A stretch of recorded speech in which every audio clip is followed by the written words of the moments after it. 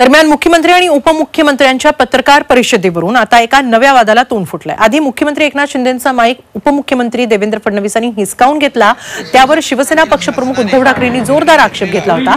आता फडणवीसांनी चिठ्ठी लिहून दिल्यानं विरोधी पक्षनेते अजित पवार यांनी टोला लगावलाय. ही तर सुरुवात आहे. आतापासून ओढाडी ओढाओढी सुरू झाली आहे महाराष्ट्र पाहतोय असं अजित पवार म्हणाले.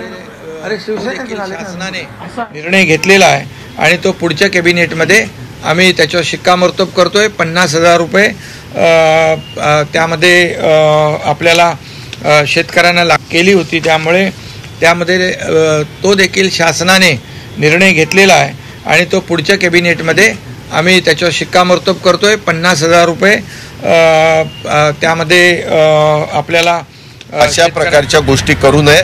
कारण अलीकडे या मीडियाचे कॅमेरे इतके बारकाईनं नजर ठेवून असतात. की त्यांच्या नजरेतनं काही झाकून राहत नाही काही राहत नाही. त्याच्यामुळं हे आत्ता तर सुरुवात आहे.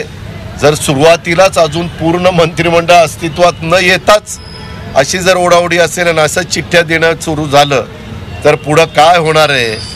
ते महाराष्ट्रानं आता देवेंद्र सगळं आता पाहावं. एवढंच आपण त्या ठिकाणी पाहावं. बहिणाबाईंची जात्यावरची ओवी म्हणजे